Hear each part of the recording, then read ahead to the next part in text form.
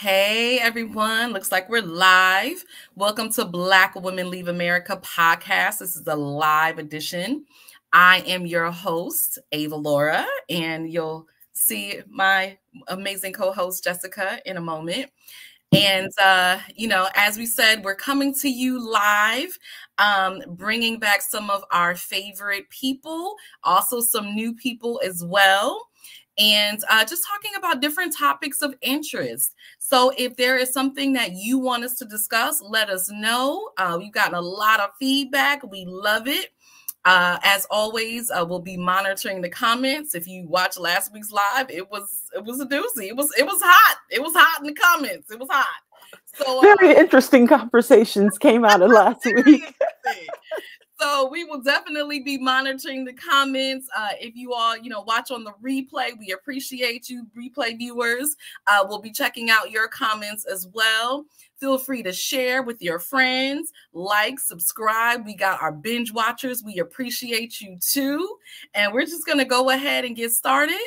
Uh, Wendy joined us uh, for our cultural liberation uh, where we talked about the intersection of mental health and uh, traveling abroad. And she's back. Uh, today, we're going to be talking about where are Black women going? You know, wh- where are we going? Why are we going? And what do we need to know, right? Like, what's important in those decisions of where we want to go? Uh, and so we have another guest, and hopefully she'll be able to join us as well. This is live, so you know she come on in. We just gonna let her come on in. Um, but let's get started. Wendy, how are you doing today? And just you know, refresh our audience memory. Tell them a little bit about yourself, and um, you know, let's and talk about you know kind of where you've been in the world. All right. Thank you so much for, again for having me. My name is Wendy Alexander. I am a cross culture consultant as well as an international business strategist, an award winning international speaker and bestselling author. And so I'm so excited to be here. I love everything global. Um, so, just a little bit about myself. I've been doing business overseas probably over 20 something years now. I started in Dubai. Um, true story. I jumped on a plane and decided that I was going to have a business there and knocked on doors and landed a contract in two days with the royal family, the government, um, some of the Abu Dhabi police. And I said, you know what? I'm just going to continue to build my business from there. And so that's what I did. Um, and so I lived in Dubai for about about eight years, and then I, you know, done some small stints in Kuwait, Saudi Arabia, Bahrain, Qatar. Um, also do some work in London, India, South Africa, Namibia. And so I just love everything global. I, I just believe that, you know, every business owner, especially women and Black women, should step outside their zip code into a different country code because there's so much out there for us to see. So thank you so much for having me. Yeah, I, I, love that. And you talked a little bit about an experience um, in cultural liberation, and we were all like, "Wait, what? like that? That's how it's happening?" You know, in Dubai and in these other, you know, other mm. countries. Um, you know, I already, I already feel that the title is switching. but anyway, well, it's like it doesn't happen like that here, right? Like we don't, yeah. you know, it doesn't seem like it's that easy. Like I want to know, like, okay, so were you physically knocking on doors or what? yeah, yeah, physically. See, but it's different, right? They mm-hmm. probably mm-hmm. weren't like ignoring your door knocks. You know what I mean? You know, no, telling you like, "Who are you, a Jehovah Witness? Go away!" Right? Like different culture. So you know, I honestly talk about that. Like, what was that like? Like you're in a different country, right? Uh-huh. Different culture um, mm-hmm. that you may or may not know. What was that like to say, "Hey, I need business. I'm gonna just go knock on doors of people I don't know." To be honest, so fast forward just a little bit. One of the reasons why we end up going over there, well, my husband ended up going over there, and I always like to tell people this because people see me where I am today, and I was like, listen, it, it took a lot to get to this point. Um, we had totally lost everything, and my husband was just like, "What are we going to do? We got to find something." And he ended up finding a contract overseas to go work in Iraq, and I was just like, "Well, I'm not coming to see you there." Then he ended up going to Afghanistan, and I was like, I'm still not going there either. And then so he was like, Well, our headquarters is in Dubai. I was like, I don't know where that is. You know, that was 20 something years ago. Nobody was talking about Dubai like they were today. Yeah, that's so true. I, you know, and so I just took that leap of faith and I just said, you know what? Okay, this, you know, I got to see my husband. And so if I'm only going to see him if I go over there at this point, because it was he was home, he would go for 90 days, come home for 30 and so I would see him more if I decided to, you know, to go ahead and say that I would come. And so I, I, honestly went over there and I fell in love with it. And I was like, I'm going to have a business here. And my mm-hmm. husband was just like, mm. Do you know you're African American woman and you're in a Muslim country, right? so I was like, Yes. Are you challenging me? He's like, No, I'm just saying. And and he's six seven and I'm five four. So I'm looking up at him like I'm going to do it with my hand on my hip. And then so um, after that, I came back again to visit him. He was doing a training. He's like, Are you going to be okay? And I was just like, Yeah, I'm going to be just fine. He's like, What are you going to do today? I was just like, I already got my plans. And so I will just never forget. I had this little piece of notebook paper, and I actually still have that same piece of paper where I was just like, well, what is it that I can do? What is it that, what opportunity can I mm. bring? I don't even know what I'm doing. I was researching, trying to find people that were doing business like I was, I wanted to do business or already, you know, a coach that had already established themselves because I was like, I'm not going to reinvent the wheel.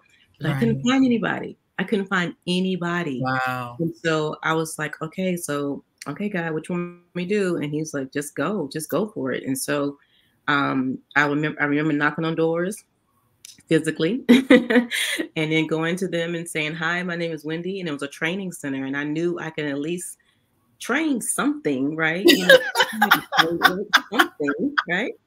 And we all have listen we all got a training a training spirit somewhere right? It's think about it seriously right and so, and mind you, I had never trained before. Let me just tell you that too. Wow. And so knocked on doors and I ended up um, meeting this lady and she was just like, well, what can you do? And I was just like, well, what would you need? What you need me to do? so she was like, well, we're a training center. I said, okay. She's like, well, what do you train on? And I said, what do you need me to train on? And then, so she's like, wait a minute, you're American. And I was like, yeah. She's like, you speak really good English. I said, thank you. And so I was like, so what does that mean? She was just like, well, we're looking for an American, American to teach um, team building. And I was like, oh, okay. She's like, do you think you can do that? Sure, absolutely. Yeah, absolutely. And not knowing, and I like to tell people the story because a lot of times we get we get so fearful, right? Yeah. Some people in a different country, not knowing the language, not knowing anybody, a lot of people would have shut down, right? No and so honestly, and at that time I was just like, okay, God, you, you got it, you got me, because I have no idea what I'm doing right now, but I'm just gonna go with your what you told me to do. And so I ended up, that was my first um, contract, and I continued to fly back and forth. My kids were younger. Wow. Um, I talk about that too, because being a mom, married, you know, I had to take mm-hmm. care of my mm-hmm. kids. And so sometimes it will be taking that flight and coming back, you know, four days later, and then doing it again three days later for wow. years, for years, for years, for years. And so I physically knocked on the door to land that contract and I stayed with them for years up until the point when somebody sold the company and they end up rebuying or something like that. But I made connections where I still do training every now and then because that's where I got my start. So you know, I always believe in you remain humble. And so yeah, that's how that that started. I did. I physically knocked on doors. I love it. I love it. Um, and, and we're gonna bring uh, Tanisha up in a minute. Uh, but tell me, let's go back because I, I, find all this fascinating. So you know we're talking about right like where black women are going. So your husband first said let's go here. You were like nope I ain't going there. Let's go here. Nope I'm not going there. Mm-hmm. What was it about those places where you like nope I'm not going but I'm willing to go to Dubai? Well at the time because he was in the middle of a war zone, you know, and so I was just like I'm just I don't want to. I could have went to Afghanistan, Iraq. I'm not sure of, but definitely Afghanistan. I was just like, I'm not going. Like, that's just not an option. You know, we have children, you know, to be honest. And so I was like, and, and if you think about that, you, both parents, somebody needs to be different places at right. one time if possible, sure. right? And that's how we were looking at that. But then when he said Dubai, I was just like, okay, you keep talking about this place. I was like, I'll go, you know. And I was not expecting that, to be honest. I really just went to see him. But when I stepped my foot on that soil, I knew that that was a place I was supposed to be, mm-hmm. and I knew that this is where this is where my journey would start for global entrepreneurship. Had you done any research or anything? Because again, like you said, Dubai was not what it was then, right? People were not mm-hmm. talking about Dubai. It wasn't glamorized, you know, it wasn't yeah. like one of those places you had to go. So, th- did you know anything about Dubai then? I did. I had a client that was in London that I was doing small work for, and she would mention Dubai. But the only reason I truly knew about Dubai was from my husband just going there for training because that's where their corporate headquarters were. And he's like, "It's really nice. It's really nice." And I was like, "Okay, yeah, okay." Like, I was just like, you know, I heard that still. And then I really never did. I still didn't research it. Even when I got on that plane to mm. go see him, I just went to see him. That was my focus. It wasn't anything else. I love it. I love it. Listen, faith Oh no, faith. So some of this is going to be a faith walk. oh, it, it, was a definitely a faith walk, one hundred percent. Because I didn't know anything. I didn't know anybody. I didn't know the language. I didn't know the culture. I knew nothing. You know, and unfortunately, at that time, there was nobody doing what I was getting ready. Well, well, I didn't even know what I was doing at that moment, but what I was trying to do, to be honest. Um, and it just took off. And then, you know, now. 80% of my business is in the Middle East as of today. Mm. So more than the United States, to be honest. I love it. I love it. Miss Tanisha, welcome back. We're glad you you made it back. Um, you know, you were with us season one when we were just getting started. Um, tell our viewers a little bit about you and uh, you know, where you are in the world. Okay, can you hear me? Yes. Uh-oh. Okay, you can hear me. Okay, good. So a little bit about me. I'm Tanisha Chief Wine Officer of Girl Meets Glass, and I'm based out of Paris, France. I've been here, uh, next month will be nine years. Wow. And I teach wine courses, have a wine podcast. I create online content for wine brands. Um, I do wine tours in the city and plan wine tours to other wine regions around France. And um, I like to drink wine and talk about it. That sounds like a dream job. yes, I love wine it. Drinker, love hashtag professional wine drinker. Yes. I love that. I mean, again, you know, just like Wendy, like how like how did that happen? And was that something that you were doing here in the US before, you know, you went to Paris, or was that something that you discovered once you got there? I mean, I was drinking wine in the US. Yes, absolutely. That's what I was doing. Um, and so that's kind of how I got into it, just drinking, and happened to uh, meet a gentleman who worked in wine marketing. He's like, "Oh, you should come do some work with me." And so I was like, "All right, fine. You know, a little part time side hustle, whatever, hobby thing." like, "Oh, this is fun." And what I would do is you go to the grocery store and they're like, "Hi, would you like to try our sausages?" That would be me, but it would be like with wine. "Hi, would you like to try this Bordeaux?" And so did that and has as his business grew, he started training staff and speaking at festivals. He'd be like, Tanisha, you need to come on and do this too. And so I would do that. And then I started teaching a university course. Mind you, I still had a full time job at this point. I was working in IT security. So I was still doing that. But then this started, you know, things started happening, happening, snowballing, getting bigger and bigger. And I was like, oh, wow, this is kind of cool. But I still never looked at it as like a real thing that could be like a career and a mm-hmm. life the teaching thing that made it a little more real. Um, I remember I was walking down the hall and somebody's like, Professor Townsend, Professor Townsend. And I kept walking because like it just didn't even register. And then they got up close to me and they tapped me. They're like, Professor Townsend, you didn't hear me calling you? And I was like, Oh, they were talking to me. I'm a professor, Professor Townsend. What are things talking to me? Like I, you know, I got excited, like, wait, like that's a real thing and something uh tangible. So I never thought it could be anything. Even when I first moved to France, I wasn't, I didn't know what it could be. I'm like, okay, could I really come mm. here and talk to French people about French wine? The answer mm. is probably not. So there's that. Um, but just kind of still working and trusting and believing and that whole faith walk that you all just talked about, all of that. Um, and just having the faith that it will work out, I would figure out what my lane was, what I could do, what I would be good at, and that kind of thing. So wow. hopefully that answered your question. I think. I mean, so it's just it's kind of like Wendy, like you just stumbled upon something too. Like for sure. For sure. But I feel like when you're doing what you're supposed to do, that's yeah. when everything falls into line. Absolutely. Like when you're working really, really hard and you're just trying to really make this square peg go in the round hole or whatever mm-hmm. the saying mm-hmm. is and you're like, why am I getting so much pushback? Because that's not what you're supposed to do. Mm-hmm. But this, like, yeah, while it has been hard and I've had challenges, it was smooth, so to speak.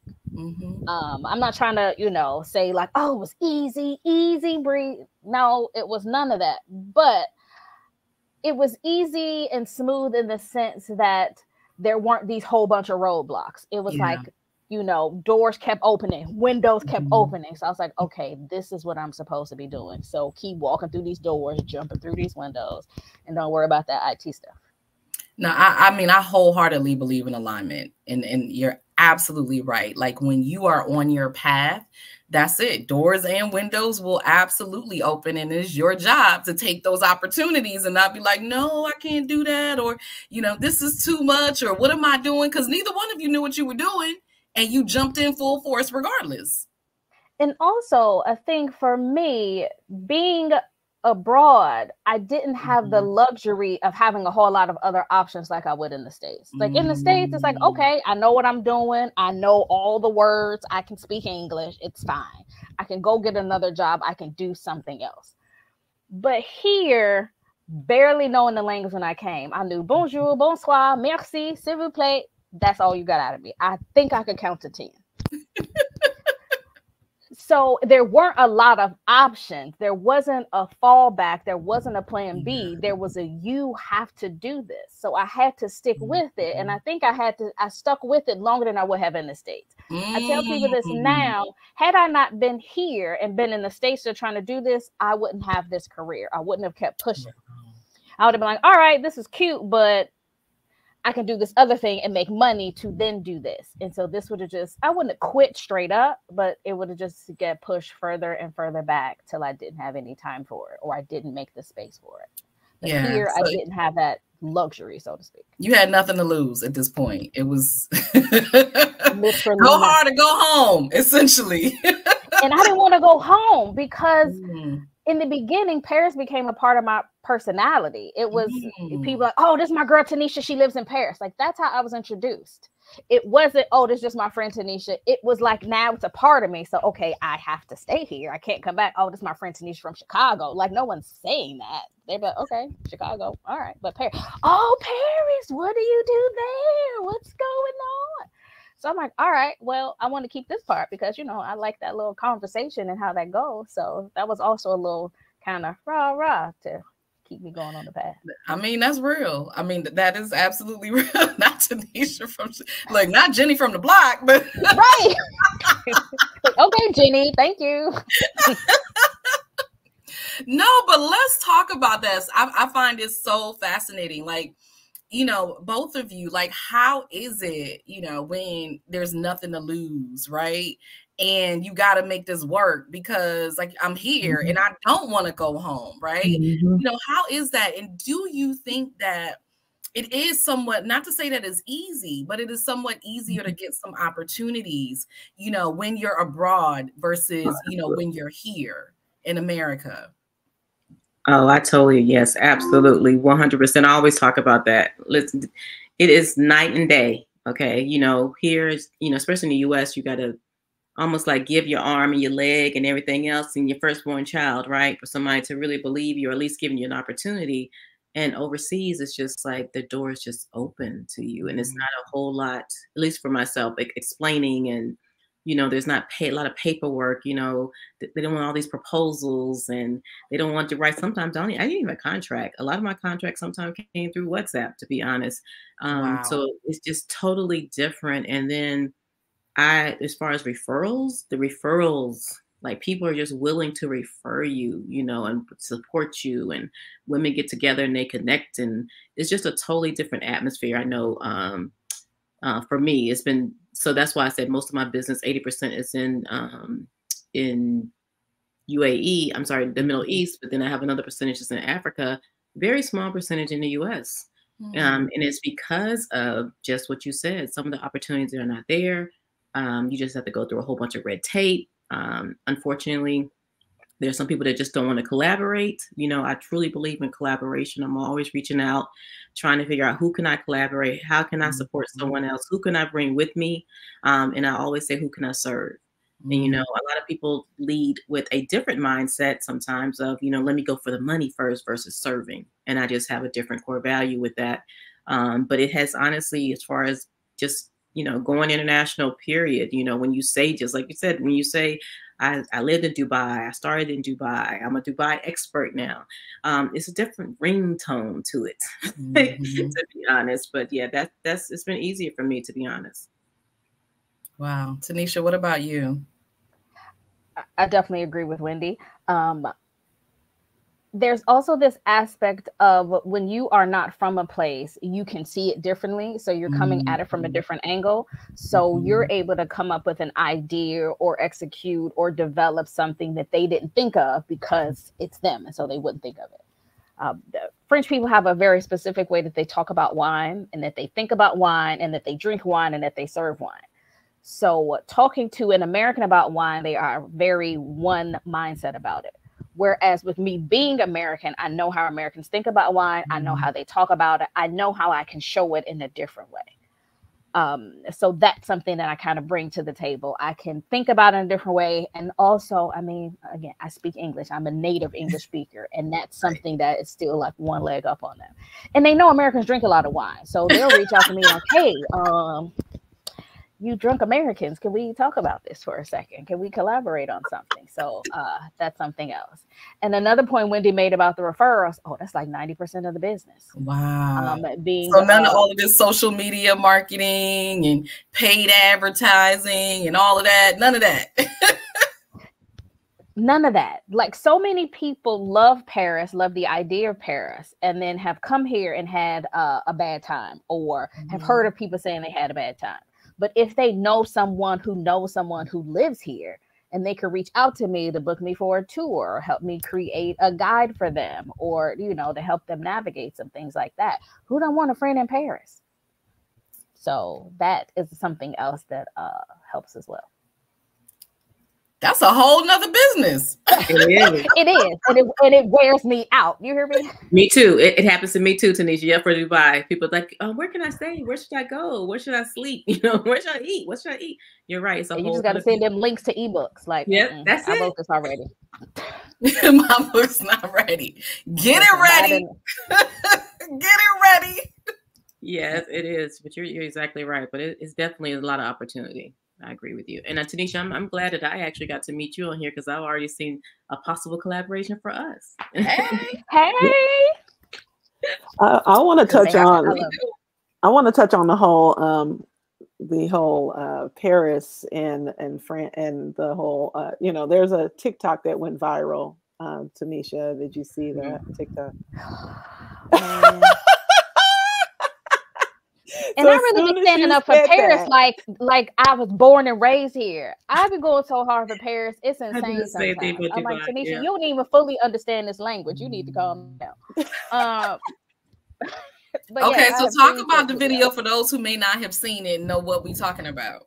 Okay. So the video was of a gentleman. I mean, and he just went in on Paris. Like, y'all save y'all money all y'all lives to come see this this is what y'all want. It's trash. It's dirty. It looks like the Middle East. It's this, is that. Like he went in on the whole city.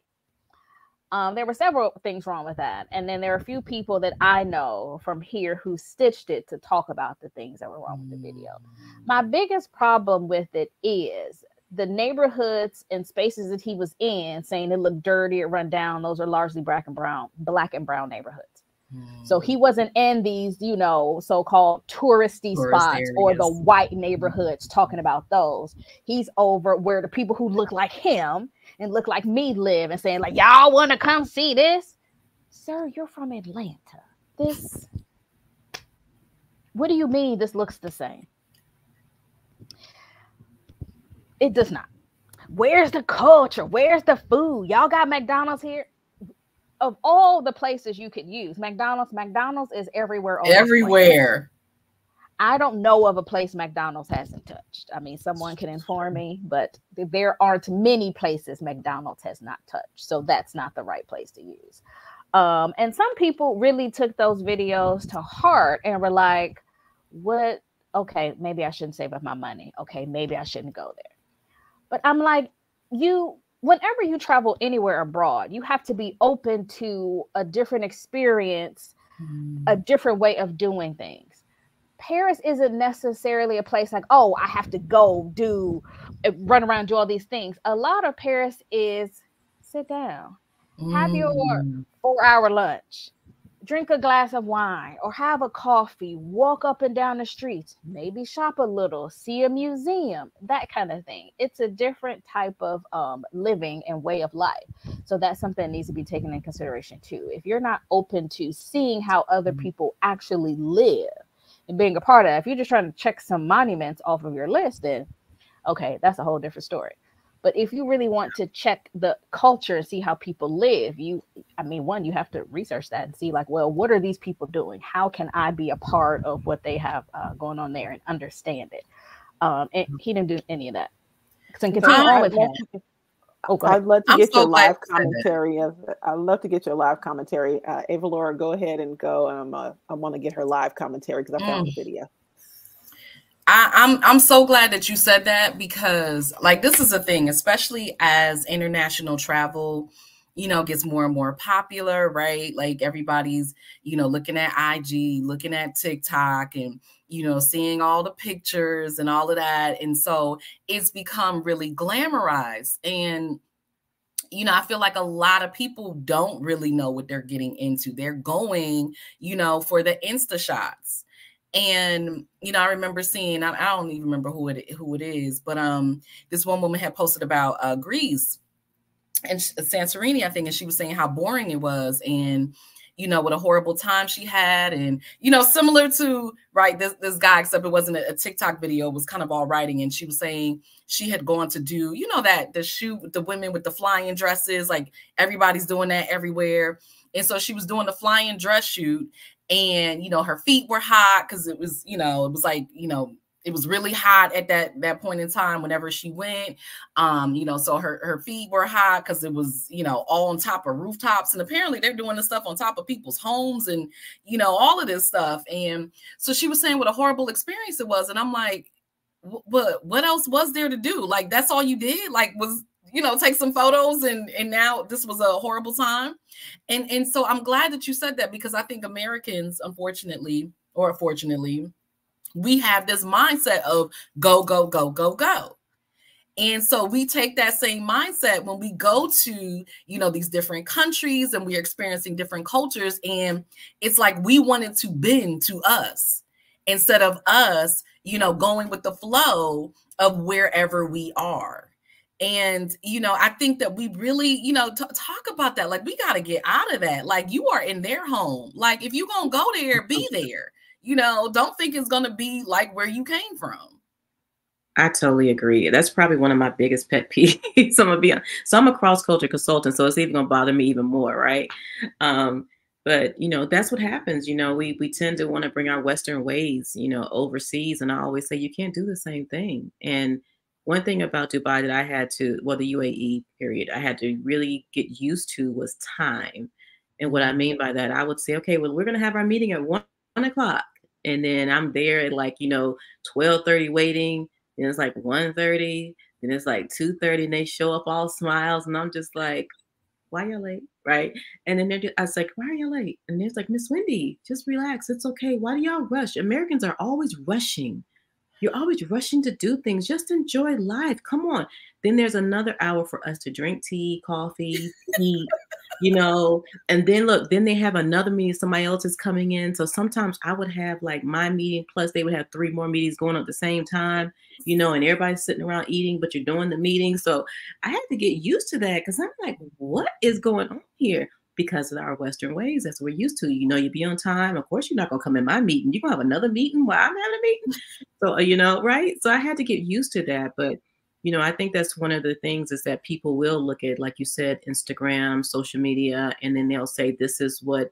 A lot of people just want to go take pictures, but there's so much more to it, you know. And I also would say that people miss their opportunities when you go out of the country. You miss your opportunities. I always say, make it a bizcation Look for business mm. opportunities while you're there and have vacation, have fun, learn about the culture before you go.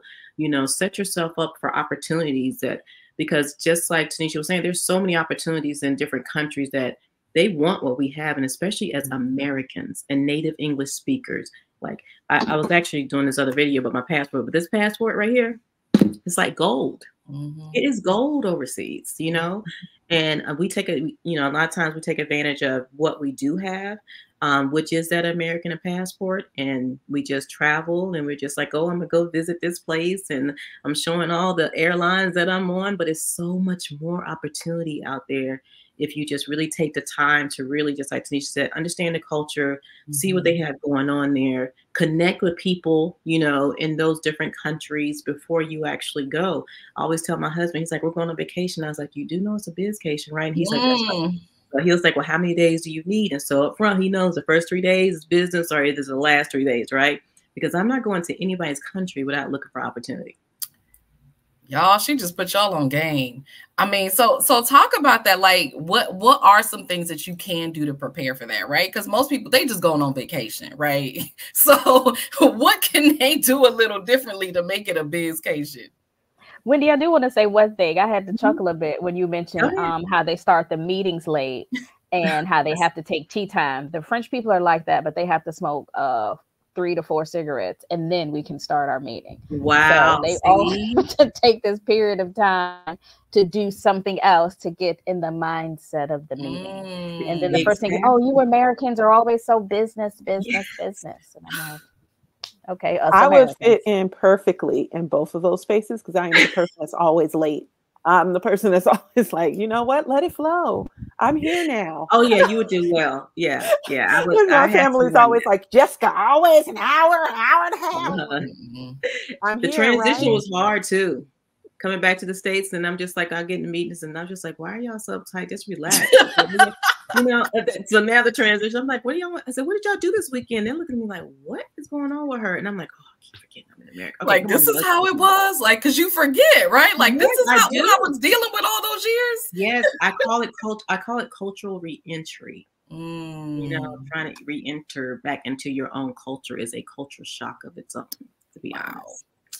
That's but um, there's a whole other thing. Exactly.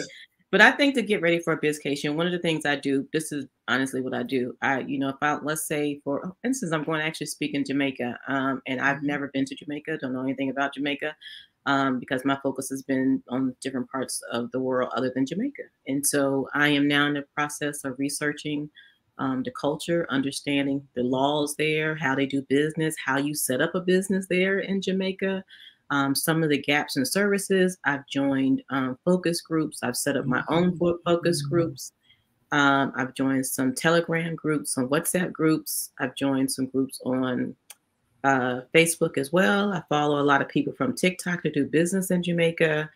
From there, um, I'll look and see. I do a SWOT analysis mm-hmm. to see if mm-hmm. there's any type of opportunities that's there for my business or my client's business. So Bizcations are not just for me. Bizcations are not right. Actually, right now it's mostly for my clients because just like Tanisha said, a lot of my um, opportunities come from referrals, um, mm-hmm. to be mm-hmm. honest. And so there's, you know, when I'm on social media and stuff, it's like now I'm on there just honestly for fun and just and bringing awareness to people about opportunities mm-hmm. versus trying to, oh gosh, let me get this sale today. I got to get this client. It's totally different, right? Beautiful. And so now I go on these bizcations to find opportunities um, usually it's from my clients, um, and especially this one in Jamaica. I'm almost certain whatever I find the opportunity in Jamaica will go to a client because I'm really focused on um, Africa right now. Mm-hmm. So then I do that SWOT analysis. From that, I'll see, you know, what are the strengths, the weaknesses, the opportunities, the threats. Then I go over to the embassy and see, you know, what their procedures are. Then I go and um, join maybe some groups um, within uh, the government as well to see exactly what their gaps are because they're going to know first before anybody else. And and then once I get there, before I get there, I usually actually have meetings already set up. Um, once I get there, I meet with those people that I've been talking to for probably at least three months. So the three, the first three months before I go prior to I go to Jamaica, I will have conversations, meetings with people, and then when I get there, it's just like, oh, okay, we know we know each other. We're just going to finish up our conversation in person now, or close a deal in person, or maybe the deal has closed before I got there. Did y'all take notes? If y'all ain't take notes, run that back and take notes. Listen, no one's ever asked me that. So that's the first time I've ever done that on an interview, just so y'all know. And so, I, so I hope they did. Because listen, like, whatever you ask me, I'm I'm open book. I'm that was gold. I don't, I don't gatekeep. Okay, if you ask me, you ask me. that was gold. That was gold. So yeah, y'all y'all need to be taking notes because she just put y'all on game, and and that's the thing too. You know, there are so many opportunities out there, and there's so many things going on, and people don't share. You know, you see them doing it, you like how they doing it, and nobody want to tell you. Yeah, nah, I don't gatekeep. And I'll be honest with you, the, the Middle East taught me that to be to be very transparent. Um, when I was in the states, you know, we didn't share. You know, everything was like, oh, well, how much is going to cost? You know, what's the, you know, and when I was over there, they were just so free of giving and giving. And I was just like, so how mm. much is it? And they just like, how much is what? I said, what you just shared with me. And they're just like, why would you ask me for that? You know, so and I was just like, huh. So I started just honestly just freely giving. And now I just always say, you know what? It always comes back to you. Just be willing to serve, you know, lead with a mm. servant heart. And that's it. And everything comes back to you. And so that's just what I go with now. I love it. I love I love it. Um Wow. I mean, I have I have so many questions. Jessica, you're right. Like it always changes, right? It always like really, I'm like, what's the best places to have a business, right? Um, but also too, Wendy. So I, I do want to know this because there's a lot of um misconceptions, especially about Africa. What is it like doing business in Africa? I'll say it's probably the same thing, the misconceptions that Tanisha has about Paris, to be honest. um, I mean, truthfully, you know, because people would not, a lot of times people don't say a, what. And just like even Dubai, a, a black woman, you know, doing business right. in Paris and Dubai, really? Um, but Africa, it, it, you know, there are some misconceptions, and but some things are true. And that's mm-hmm. why I say mm-hmm. you always have to do your due diligence, you know.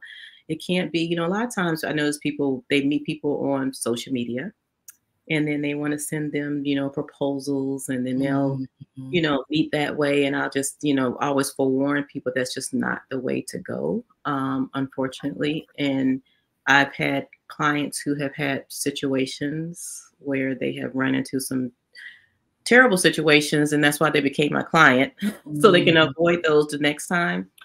Um, but but at the same time, you see where Africa is going now. You know, yeah. there are some amazing opportunities, very smart individuals in Africa. I have lots of partnerships now. I started an NGO in South Africa, Namibia, um, and now working on something in Uganda. So it's plenty of opportunity, more than it was, I would say, prior. But I would just say do your due diligence. You always have someone on the ground. You always have someone on the ground that you can trust. I'm gonna say that yeah. one more time. I have heard that many a times. That you can trust, and so every single country or place that I do businesses, I have someone on the ground. Okay. Somewhere, anyway, I go. I can even if I have not personally done it, I'll always make sure I'm, I can do a relationship for that. And so when it comes for Africa right now, I would just say if if you ever thought about doing business, or even a lot of people are coming to me. Like I have a couple of people tomorrow. They're moving. They want to move to Africa. Mm-hmm. You know, um, and so if you ever thought about it, this is the time. There's no other time like now to do business in Africa, and I would say South Africa, um, Ghana, Namibia, which is untapped, and definitely um, Ethiopia mm. as well, and then Uganda and Rwanda yeah, Rwanda, I'm hearing is is, is yeah, they, they definitely rebranded themselves. Yes. so, and Kenya, and Kenya, and Kenya. Kenya's and president's Kenya. coming through too. Nigeria's presidents too. So they have some new presidents. There's a lot of opportunity, but I'll just say, just do your due diligence. Like, mm-hmm. you know, that's just not a place where you really want to just say, I just want to jump out there. Like, I wouldn't, ju- I didn't jump into Africa like I did the UAE. Yeah. Put it that way, okay? But I didn't do that. So that that would be my advice. That's real. So, all right. Again, bring them notes. she gave y'all several places to check out and go to and how to do it. And yes, eh, yes, have somebody on the ground. I can't even tell you how many times I've heard that. So yes, that that is correct. Uh Tanisha, like what would you recommend? So, you know, if, if there were women who say, you know what, I want to go to Paris and I mean, I wouldn't mind, you know, living there and starting a business there as well. What what would you recommend to them? First things first, I would recommend learning the language. I would not mm-hmm. suggest anybody come over here how I did, just winging it with knowing a couple numbers and some basic hello, goodbye, thank you. Like, no. Because the thing about it is, while there are a lot of people who speak English, mm-hmm. they appreciate and respect you more when you speak their language if you're trying to do business. Also, there is something to be said for your confidence in approaching people when you aren't sure if you can talk Mm. Um, none of us here on this uh, live are illiterate, but think about if you go to say Germany, like you don't speak German, so you trying to get some German words out, just that feeling of I'm not sure what I'm about to say, that mm-hmm. feeling of not being able to speak or be understood or someone under or understanding someone else, that will also make you kind of shrink yourself a little bit. So if you can have an understanding of the language, whether you're coming to France, Spain, Portugal, you want to go to Germany, Italy, anything like that, I'm naming European places because mm-hmm. I'm in mm-hmm. Europe. Um, I would say get a handle on the language. You can get the rest of it here by immersion, mm-hmm. but don't start off with nothing. Don't, I won't suggest that for anyone. Um, another thing is to really think about what you're good at. Um, and then when you come in, figure out maybe how that can kind of fit in. So move in those spaces. When I first got here, I joined expat meetup groups. Okay. I was in Black expats because um, I was like, I need to see the people who, you know what I'm saying. so I joined Black expats, I joined American expats, and um, I joined a, a wine one. That one didn't meet that much, but I joined a cocktail one. Um, mm. Um, it was called, yeah, I joined a cocktail and I'm like, these are things that I'm interested in. Mm-hmm. So let's just see who I meet. And I was, I didn't know quite what I wanted to do. So when I met people, I was just meeting them off of let's just be friends, let's hang out. You know, I'm new here. I want to go see this museum. I want to go to this cafe. So later on, when I did have a business idea or I did want to do something in business, they had no problem helping me because now we're friends. We have built up a relationship. Mm. I didn't just come to them hitting them over the head like, hey, I'm starting this business. You want to help me? And we've yeah. only talked for 30 seconds.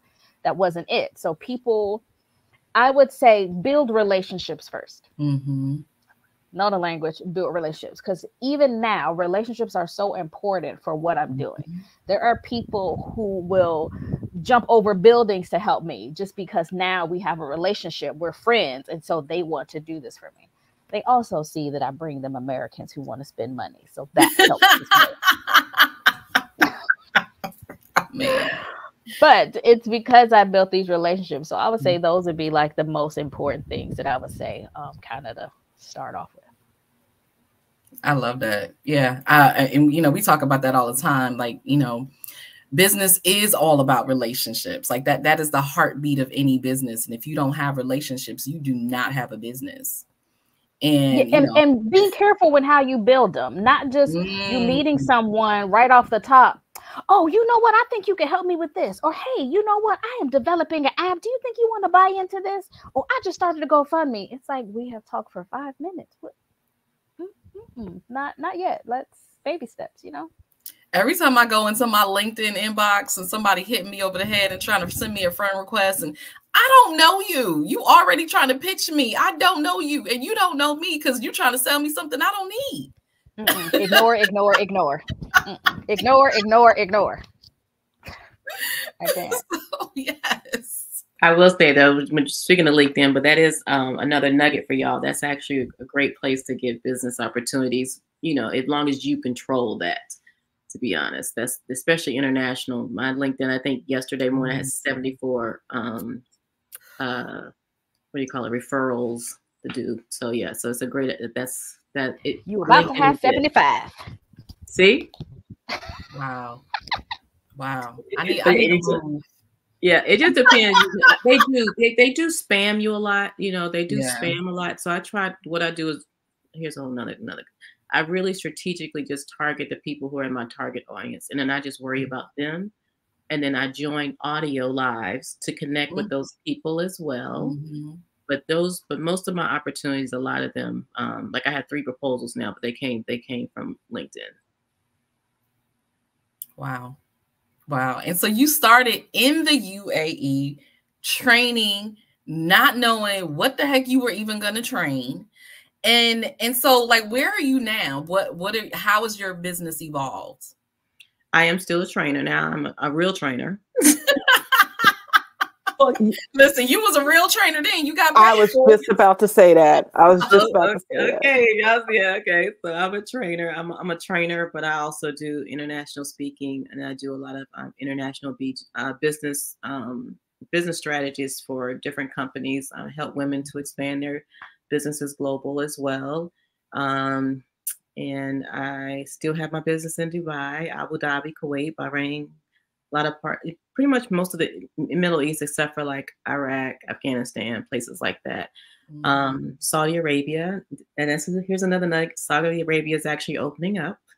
Um, there was one point in time when you know uh, women couldn't drive. You know they can drive now, mm-hmm. and um, things are coming up with the healthcare system over there. So it's lots of opportunity, y'all, for women over there now. Um, they're opening up as well, and so I just do a, still do a lot of work traveling.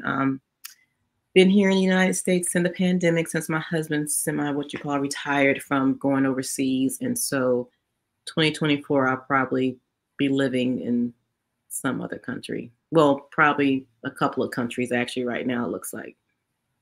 So you're still you're traveling back and forth.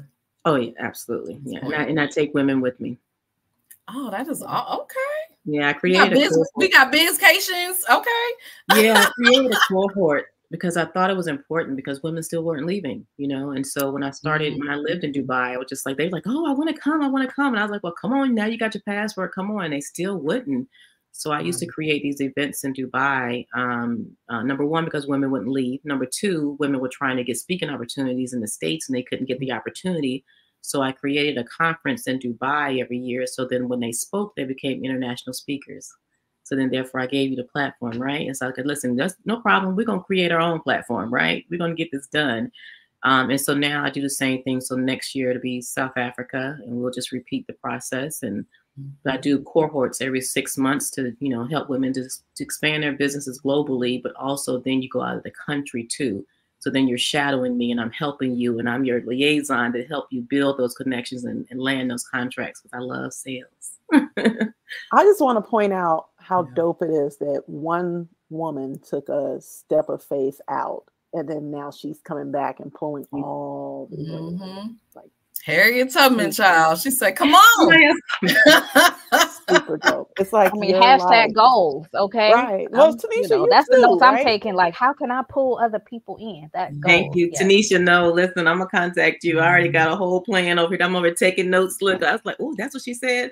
Yeah, you're doing amazing. Like, I don't, I don't think you understand how mm-hmm. powerful you are of what you have yeah. right now. To be honest, um, I have been doing this business for over 20 something years international, and I have never met a black woman doing business in Paris. Mm. I'm trying to, okay. How about that? Never, never, ever, ever. So, yeah, I'll definitely. Hey, Laura, look at us making folks right. people. I mean, that's, what, that's what we do. look, look, serious. You have, you just had no idea. I'm just, I've been smiling. I was like, I wonder if she knows. Like, you know, you know, and then to have this platform for us yeah. to be able to, you know, for to connect. Like I'm, I'm grateful. I'm, I'm really grateful. No, it's, it's I mean, it's, it's it's dope. Like when we when we started this, I mean, it was you know really. I mean, I love travel, and I don't travel nearly as much um, as I used to. But all of my clients, I have lots of clients in Nigeria now. All of mm. my clients, um, you know, in different spaces, and then a lot of them moving. And I'm like, what is going on here? Like, what is yeah. happening? And so Jessica and I, you know, really wanted to explore that. Like, what is happening? You know, we complain so much about our representation, you know, oh, and yeah what we see out there about black women and about black people right. and black culture and you know our thing has always been that you know you control the narrative. If you have an issue with what you see out there then put something else out there. Show people right. a different story right? Present a different narrative. We know that we're not monolithic. We know you know that there's so much more to us and we can see all the things that are going on that other people can't see. So let's highlight that mm-hmm. right? Let's let's yeah you know talk about what we're doing let's share different women's stories um and hopefully that will inspire it doesn't it doesn't matter if you stay or go or you know if you just you know leave where you are into a different part of the united states or just stay where you are with a different mindset but the goal is that you decide how you want to live your life and understand that you have options and wherever you are, you don't have to stay stuck. Yes, and absolutely. I love it. You all have shown that. you don't have to stay stuck. Take that faith That's walk right. and just move. And yeah, my husband just and, my, and thank God, and make sure you have a spouse that uh, also a significant other that agree. no, it's a big thing though. A lot of people don't it, realize that. Because people always say to me, because I, I, I, nine times out of ten I'll be in South Africa for a couple of months, and so someone asked me, it's like, so when you leave, so how's your husband feel? What did he say? I said he's kind of used to it. He's just like, yeah. okay. And thank goodness we have our own, but he has his own business. He was just like, okay, we'll just plan when I come out, you know, go back and forth. He's not as international. He's been in Afghanistan. He's over it, right? Yeah. He'll come and visit and stuff like that. But you really do have to have that, you know? And so you're right. So when women are talking about leaving, it's just, you know, when you're looking for your mate out, that's one thing I'll just say, you know, make sure that they understand what your goals and aspirations are for going global, you know, and what does it look like for your family and you know, our family, we had, we didn't have vision board parties. We had global family vision mm. board parties, you know. So our children, when they were younger, they knew mommy and daddy's going to be global. That's what we had to do. And so when I moved to go live in Dubai for eight years, my kids were like, oh, okay. Like it was just, all right. So, you know, that's, that's what we plan to do. And my husband is used to me traveling and living outside of this country. And we made it work. It's been 28 years. Wow. Congratulations. Thank you. Beautiful. Yeah. And, and so um, I think we'll, I mean, well, Jessica, you have any more questions? Um, I guess one question I have for Wendy, and then I have one for Tanisha as well. Um, Wendy, when you were moving, were you taking your children with you? Were your children staying with family members? How were you navigating that whole thing with your family? No, they stayed here. I wanted them to remain in the same school because I didn't know. I, I felt like, um, in which I'm glad I didn't because I didn't stay put. You know, I was going to Dubai, Kuwait, Saudi Arabia, like wherever my husband was moving, I was building a business. Mm. You know, so whenever they said he had to move to Kuwait, oh, okay, well, we're gonna look for opportunities in Kuwait. You going to Saudi Arabia? He's like, now you're really asking for it. But I was like, nope, I'm gonna do it. Hijab and everything, right?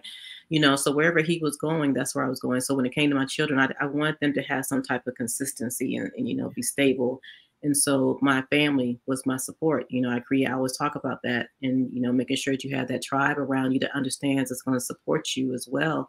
It wasn't just my family but it was even my neighbors where we moved was strategic. We had a, we lived in a cul-de-sac. The family you know they were our family also. Um, we had an AAU basketball team that also the coaches didn't help with our kids, you know, at the same time when we were traveling back and forth. And so they did not go, but they came over there um, and to enjoy Christmas in Dubai every year. So, so that they made sure they did that. Okay. But no, we didn't. We, we left them here and it, it, it worked out good. You know, a lot of times people say, they were like, "Oh, your kids, how did they do? Did they do well in school?" Mm-hmm you know, both of them graduated the top of their class in high school um, okay. and summa cum laude in college. My son's graduating law school in December. My daughter has two businesses. And so for us to be overseas, you know, I, I, was waiting. I have never really told the whole journey about that um, and motherhood. Because I wanted, I was like, well, let me see how y'all gonna do first, you know, to be honest. That's funny. How y'all gonna turn out? yeah, let me get make sure, right? And so now that my son's graduating STEM, I was like, okay, I think we can go talk about this a little bit more. But no, um, I, they stayed in the states, and I, it was one of the best decisions. International schools are good. Some of them are very difficult. Mm-hmm. Um, I did a lot of contract work in the UAE in the school system, which was also another reason um, I decided not to. Great question. Mm. Thank you for that. Yeah, because there are a lot of women who have children, Jessica, and that is one of the reasons that they won't move or they won't leave is because they have children. And a lot of women don't want to hear that, right? Leaving their children. Um, I remember when we talked to Barbara, she's in Belize, mm. and she got a lot of flack, right? You know, when we aired her episode about her leaving her children from social and, media. Um, my God, yeah, Yeah i mean, people had issues, and I'm like, I'm, I'm sorry, like, are, are, are, you a mother? Are you a parent? Are you like, yeah, you know, I, this woman, her kids? Yeah, I got I got that too, you know, and I still get it sometime, you know, but that's why I said, you know, the end result, you know, it's all about how you plan and and I'm always going to be the one to say, listen, I will never be that. I was going to never be that mom to say, my kids graduate. Oh my God, what am I going to do? I'm going to be going to college with mm-hmm. him. I don't know where my, what my life is going to be like now that he's graduated high school or she's. Yeah. I was never going to be that mom. You know, I was going to have my life after my children. And I think a lot of times we don't plan for that in time to say, what is it going to look like after they leave? My son graduated from high school. The day that he graduated, I got a longer contract in Dubai. I left four days later, later to move to Dubai. My life was like, really, I'm ready. Yeah, it really started. It planned out it was there, you know. I thought it was going to happen later. I just I had manifested. Listen, I'm gonna have a I'm gonna have a job. I'm gonna have a longer contract living in Dubai after he graduates. I said that four years prior, and the day that he graduated, I got the longer. But they already knew it, so it's just like I'm leaving in four mm-hmm. days, and it's like okay, like you know, it's okay. But yeah, they used to it. Yeah, and they was like, do it. They said, no, mommy, you raised us and you did what you yeah. done for us, and we appreciate you. Now go and do what you want to do. That's what they said. Wow. Now I, I, do have a question, and I know you have a, another question for Tanisha. Um, Jessica, now are any of these um places where you know maybe you are here right in the US and you're like I want some of these um, international contacts I want to work with some of these international businesses can you do that from here or is it important that you do move abroad at least for a period of time no, you don't have to. You know, it used to be like that. I feel like I, I had to in the moment where I was, I had to leave. No, I have plenty of contracts and I never like Pakistan. I'm the mm-hmm. director of international affairs in Pakistan. I've never been to Pakistan, but I have a lot of business opportunities in Pakistan that I do. Um, um, Israel, you know, there's places like that. But no, you can set up, especially now with technology, mm-hmm. you don't mm-hmm. have to leave. You know, I, I do say this though because in order to really understand your client and who you're working with, you yeah. should not just say, I'm never going to go. You yeah. know what I mean? Or not try to find out. Like I do a lot of FaceTime. They were yeah. sending me all, you know, we're on the, the video all around the touring and, you know, the country mm-hmm. and stuff like mm-hmm. that. But um, I would just say you just have to really embed yourself the best way you can virtually. There you go. See, there you go. No excuses. no excuses. All right, so uh Tanisha, I got this video, so I want you to give us a rundown of this video. That's my question for you. Run that. Run that. So hold on. I'm not gonna play the audio because um I don't want us to get flagged, but I will at least just play the mm. video and you can kind of walk us through a bit of it. Is he showing the different? Yeah. Okay. So uh can you guys see this? Mm-mm. Oh. Okay. Oh. Now I can, yeah. Okay. So he's saying you spent all your money come trying to come here. Oh. It looked like New York. Where's this place? so what I think I France is very big on their rights and things like that. So they have been striking um, about the retirement age and more mm-hmm. specifically the people who were striking were the trash collectors. So there was a period of time where the trash collector where the trash collectors are like we're not doing this. We're leaving all the trash out. Dang. so trash was piled up like window high covering up doors. You couldn't get down the street. It was insane. So i think that was part of it. Wow. Also paris is a big city with a lot of people. It's very dense. There are mm-hmm. a lot of people who live in the very small um uh, part of it. So yeah, like these places, like these are all nice. I know exactly where that is because that Popeyes, that place had me in a chokehold for a while. Okay. Because Popeyes was new. It just it, li- it really looks like a city. It looks like New York or something. I mean, it's it's not and the part he's showing, that's where that's the black and brown neighborhoods. Oh. And so for him to show oh. this, this is the train when you take the Eurostar from uh, um, Paris to London. That's what it looks like. So okay. for him to say that about those places, and then he's like the walk to the Eiffel Tower. You saw it was mm-hmm. water there. It rained, and it's a park. So when it rains in dirt, then it is mud. I I, I don't understand what well, he got the exposure he wanted. Yeah. Yeah. like that's really what it was. And you see the way he's looking. You saw the way his face. Yeah, looked. he got the exposure he wanted. He got the exposure he wanted, but also he's not looking like he's trying to enjoy himself. Nah. One thing I was thinking about when um, Wendy was speaking about how Americans don't, you know, um, aren't really researching anything or their expectation mm-hmm. when they mm-hmm. go to a place. Americans go to places, I feel like, and expect to be entertained. Yes. They expect for like shows to be put on and things to happen and something will entertain them. and that's not always the case in other places you visit. You need to go and like find find the magic, I guess, not to use a t-shirt slogan, but you need to or go and like magic, find that like, kind of thing or make it. Yeah. Because to say, all right, well, Paris looks regular. Okay, well, what do you do when you go to Miami? You walk around the beach, you twerk on the boardwalk, you go eat, you go to the mall, but you actually have those same stores. So what like what are you doing? This mall looks the same. It's owned by the same people, the mall you have wherever you're from. So to come here and say, ah, it's the same. We got an arc at home too. No, come on. Do you have a history? Do you know the history of the arc? Do you know the history right. of this neighborhood? Do you know why the Eiffel Tower was built? The Arc de Triomphe. Do you know why this was put here? Who who decided this would be built? What this was for? No, you don't know that.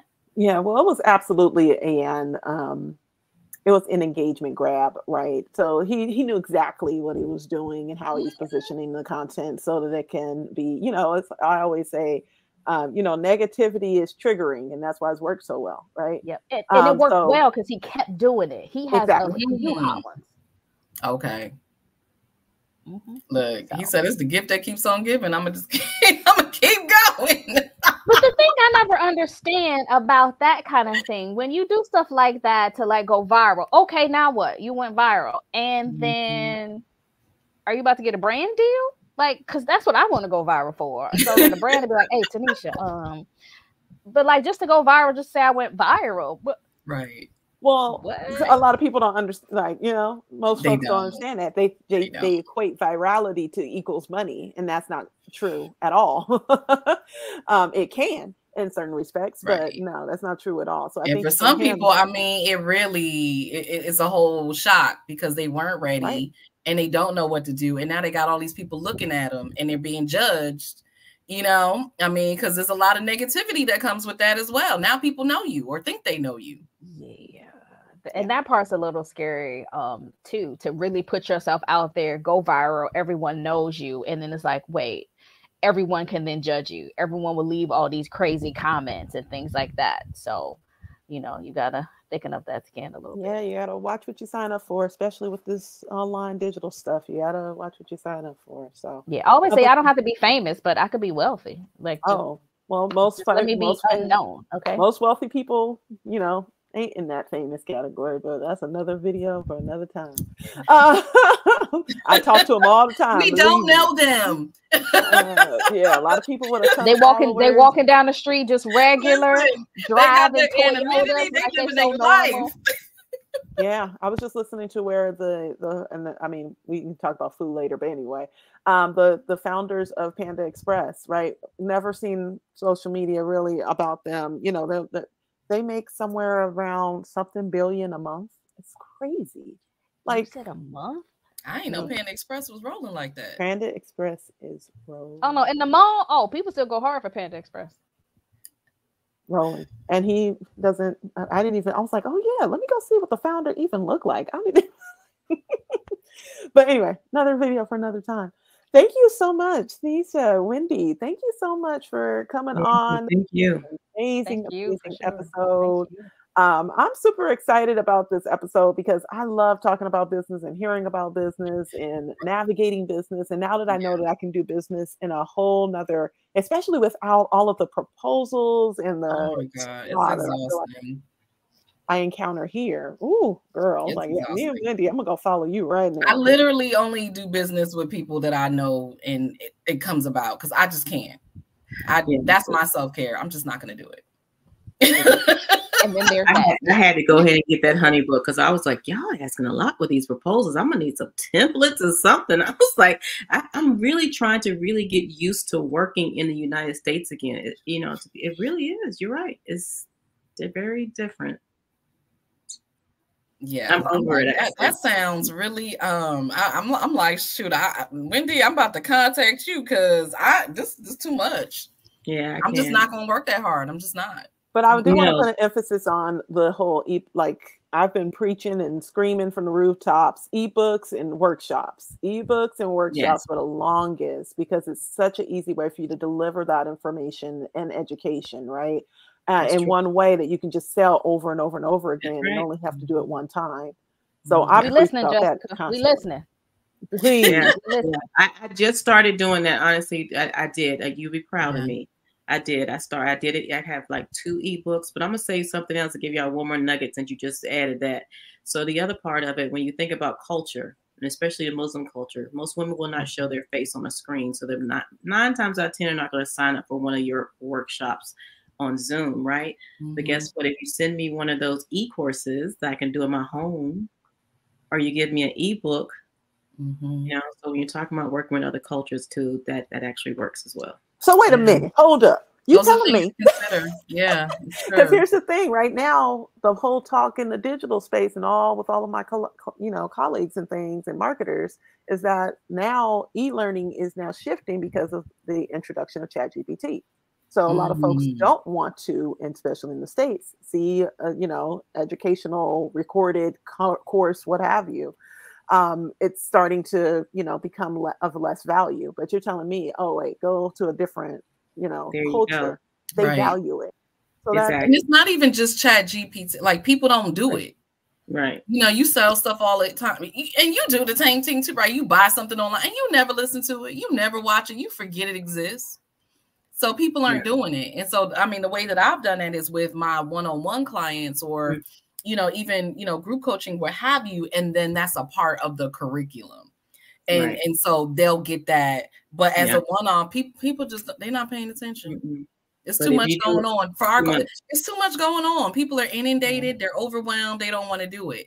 But mm-hmm. that that's a great point. Like if you're looking at some of these other cultures, um, in these other countries, they they have a different lifestyle. They have time to learn something and sit there. and, you know, like you said, drink their wine or their tea or what have you, mm-hmm. you know, take it all in. It's it's that that's listen, that's a whole Again, your YouTube, your YouTube podcast, YouTube podcast. You know, the school, a lot of school systems in Dubai and uh, especially the Middle East, they use YouTube for learning for their students. So think if you had a whole educational program on YouTube, they're going to find you there because that's what they look at. They learn English from YouTube.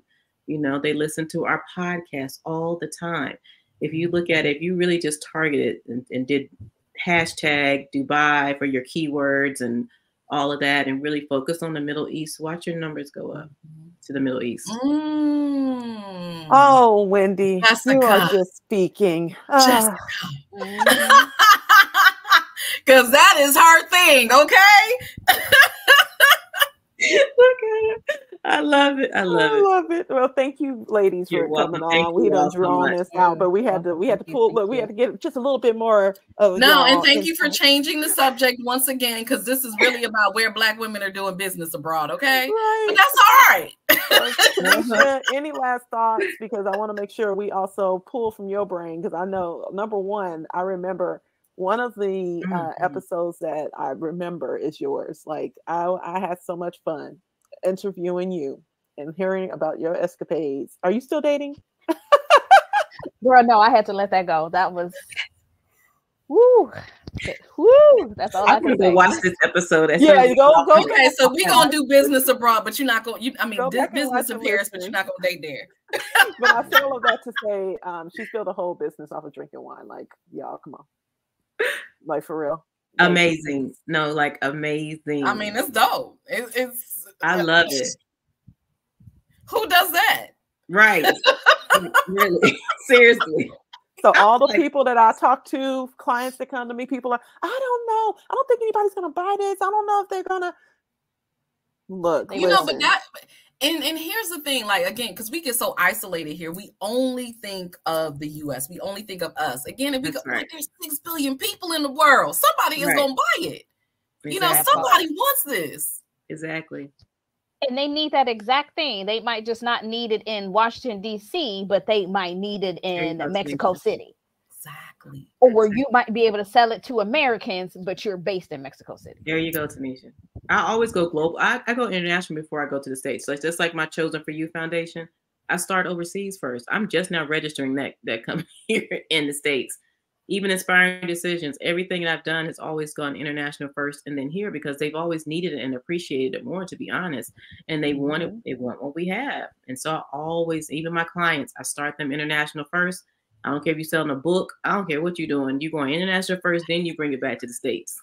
It makes so much sense, you know, and we, like when we talked about last week, we were talking about the education system and you know, um, Black women traveling abroad, teaching opportunities and things like that, and just how different the educational systems are. And, you know, that's what one of the people said. They were talking about Oprah School in South Africa, and of course, how she got a lot of flack for starting there in South Africa. But she did that because of all the politics here, and of course, the need. And, you know, she she was able to make such a difference and they're all in college and you know in mm-hmm. america now and you know all of these things and I don't think that we we think about that. And there was this whole discussion, you know, that some of the viewers felt like, well, you're abandoning, yeah, you know, black people here who need you and going yeah. abroad. And it's not that they don't need you, but if you can make a greater impact somewhere else, and now you can come home and make exactly. a bigger impact because you've already done it somewhere else. It, that's the that's the ticket. That's it. And that's how we roll. We want you to already be something before we say, oh, yeah, okay, we'll give you an opportunity. That's right. That part. That part. Yeah, that, yeah. That's it. like, how that's am I going to do that if I'm just starting out? So that's right. That, that that's how it is here. Like people, I mean, it, it's it's crazy. It's all the same people getting the opportunities when there's all these other people who are equally qualified or more qualified true. who will never see the light of day just because you don't know who they are. That's true. So yes, uh, Deborah's asking, where are you located? Um, thank you for joining us, Deborah. We're we're everywhere, right? All of us are everywhere. Definitely, def- definitely uh come back and, and watch. Um, Tanisha, where are you located? Tell her again. I'm in Paris, France. And Wendy, where are you? Today I'm in Atlanta, Georgia. And where'd you come from? last, right, last like, I was actually, actually the last part was like South Africa. so there you go. That's where we are. but go and just scroll or uh, yes. I always say rewind, and then I forget that you know if you didn't grow up with a with an actual VHS know, right? tape, you don't know you what don't rewind know means. I had that on one of my videos. Like you can rewind, and I was like, "Oh no, go back, replay." They don't know what that is or be in the car like rewind, rewind, rewind. Oh, went too far. Fast right, forward, right. fast forward. Click. Okay, we got it. Just showing my age. Just all out here showing my age. Um, but yeah, so just make you know, make sure you you whatever scroll back, however you you know are watching this uh, to listen to the full interview to kind of hear all of the experiences of these ladies because they are amazing. Yes. Uh, thank you so much again. I think I've, I've, said this about three times, but we really are ending it now. Um, this is Black Women Leave America, the podcast that explores the stories of Black women leaving America, but also finding themselves in the journey um, and how we're able to now like bring information back, right? Like I'm gonna tell you right now, I am totally like refocusing my target audience right now, um, and definitely repositioning uh, a lot of my content to make sure that I'm pra- placing content out there that is going to speak directly to the folks that are looking for it in other places. Because you're right, I have primarily focused on the United States, um, just because that's where I am. But I don't need to be there to serve it. So there's that. Uh, Ava Laura, any last thoughts? I, I'm, you know, I, I hope this has inspired you as much as it has inspired me. And, you know, our goal is always that you don't just sit here and listen and consume, um, but you actually take action. You know, one thing that you learn from this, you know, take action, do something with it, be inspired, be motivated to change something about your life that you don't like, right? And that you want to change. Um, and so, as long as you're doing that, Jessica and I have served. We are doing our part. Uh, please continue to support us because uh, we need it. this podcast needs it. Um, and, and, we're just we're glad that you're watching. And ladies, uh, tell our viewers how can they reach you? They want more information. How how can they reach you? Um, I'm inspiring decisions on social media platforms, and you can find me Wendy L. Alexander on LinkedIn. Thank you. I am Girl Meets Glass on all social platforms. On LinkedIn, you can find me by my name, full name, Tanisha Townsend. And you can also search Girl Meets Glass there. Awesome. Thank you, ladies. Well, we'll be back next time. Like I said, we don't know when. We Thank just pop on when we're ready. yes. Thank you so much for uh, watching. Make sure you subscribe. If you've watched this to the end, especially, make sure you go ahead and subscribe so you can get notified the next time we go live. All right. Until next time. Peace. Bye. Thank you all.